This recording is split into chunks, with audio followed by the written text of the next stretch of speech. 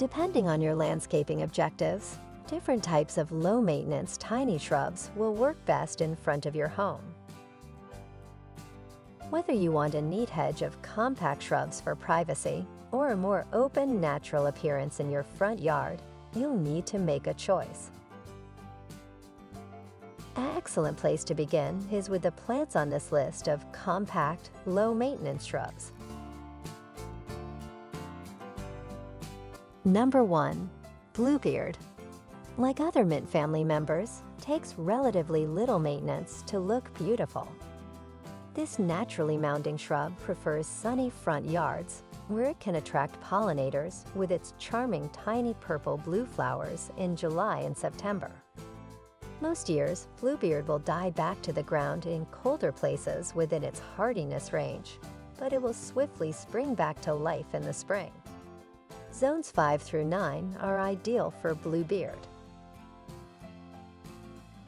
Number 2.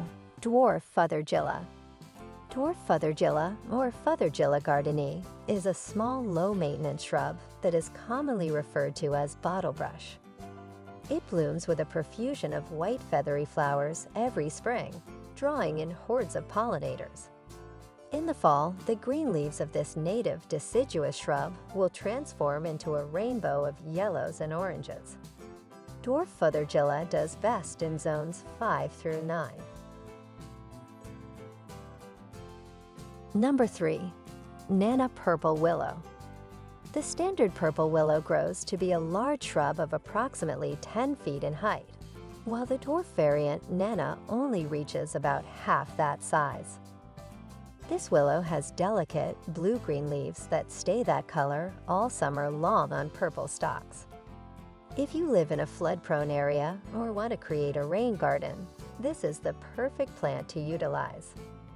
Nana Purple Willow thrives in zones 3 to 7. Number 4. Oakleaf Hydrangea Long blooming flowers, vibrant autumn foliage, and intriguing peeling bark all add to the appeal of the native shrub known as oakleaf hydrangea.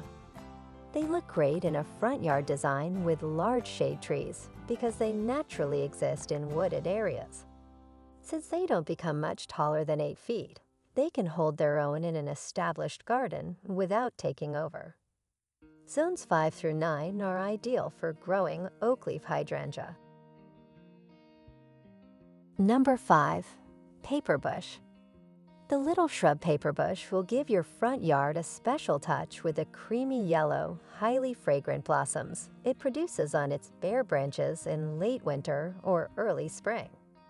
Paperbush is a slow-growing shrub that can reach heights and widths of around 7 feet, with little to no maintenance beyond occasional pruning. Paperbush thrives in zones 7 through 10. Number 6. Showy Hebe beautiful evergreen shrub native to New Zealand, showy hebe or Veronica speciosa is a great choice for front yard landscaping in moderate areas and along the coast. Showy hebes are grown not just for their glossy green leaves, but also for the vivid pink flower spikes that appear periodically during the growing season. Zones 6 through 9 are ideal for the showy hebe.